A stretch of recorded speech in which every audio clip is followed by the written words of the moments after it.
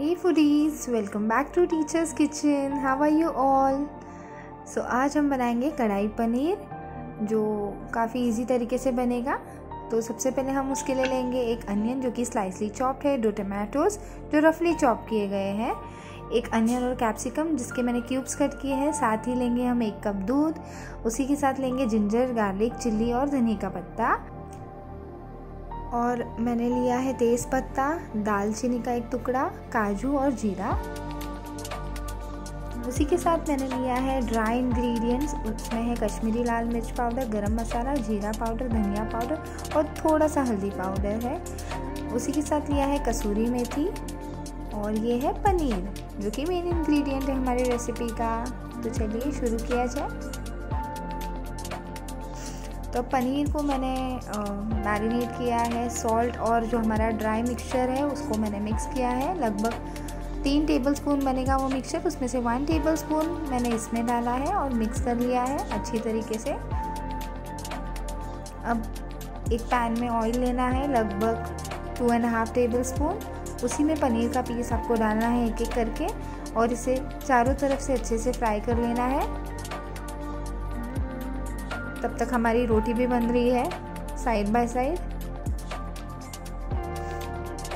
अब पनीर के पीसेस हो चुके हैं हमारे, लग से, लगभग दो से तीन मिनट के बाद।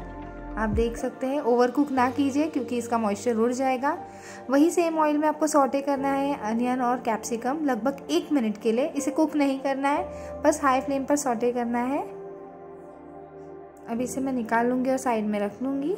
तब तक वही सेम ऑयल में हमें ऐड करना है onion tomato coriander leaves ginger garlic और कैश्यू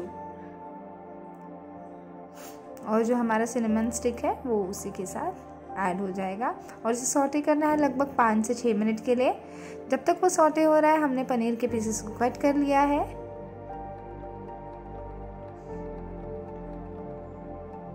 अब ये हो चुका है, अब मैं इसे मिक्सचर में निकाल के इसका एक थिक फाइन पेस्ट बना लूँगी। आप ज़रा सा पानी ऐड कर सकते हैं। अभी इसका पेस्ट बन चुका है। मैंने ऑयल एक्स्ट्रा नहीं ऐड किया है। सेम पैन में मैंने वही ऑयल में वही मिक्सचर पेस्ट जो हमने बनाया है, वो मैंने ऐड किया है। इसे हाई मीडियम फ्लेम पर रखना है। बे लीव्स ऐड करना है और जो हमारा ड्राई मसाला है, उसे भी मैंने ऐड कर लिया है। अब इसे लिड क्लोज करके आपको लगभग पाँच मिनट के लिए पकाना है और इसमें लगभग दो कप पानी मैंने जो मिक्सर में मसाला पीसा था वही डाला है और साथ ही मैंने एक कप दूध भी ऐड कर दिया है। अब इसमें बॉईल आ चुका है, इसमें सॉल्ट ऐड किया है मैंने और इसे ढक दिया है। अब पाँच मिनट बाद आप देख सकते हो कि एक ऑयल का लेयर आ चुका है तो हमारा मसाला जो ग्रेवी है वो कुक हो चुका है। अब मैं इसमें ऐड करूँगी पनीर और जो सॉटे किया हुआ अनियन और कैप्सिकम का क्यूब है वो। इसे मिक्स कर लूँगी अभी।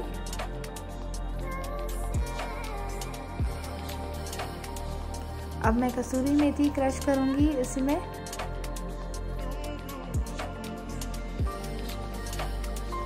इससे फ्लेवर काफ़ी अच्छा आएगा।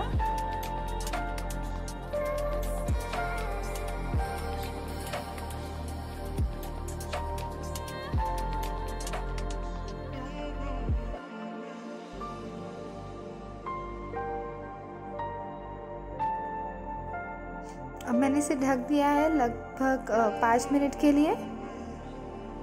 अब पाँच मिनट के बाद आप देख सकते हैं हमारी ग्रेवी रेडी हो चुकी है। आप इसे एंजॉय कर सकते हैं, जिसे राइस के साथ पसंद है, राइस के साथ, जिसे बटर नान के साथ खाना है, बटर नान के साथ। और मेरे घर पे तो चपाती बनी है तो हम उसके साथ खाएँगे। तो आप ज़रूर ट्राई कीजिए, काफ़ी सिंपल रेसिपी है। जो घर के इंग्रेडिएंट से ही बनता है। आपको एक्स्ट्रा पनीर मसाला या कोई और मसाला ज़रूरत नहीं है, जो आपके घर पे अवेलेबल है, आप सेम मसाला यूज़ कर सकते हैं। तो प्लीज़ ट्राई कीजिए और मुझे ज़रूर बताइए आपकी रेसिपी कैसी बनी है।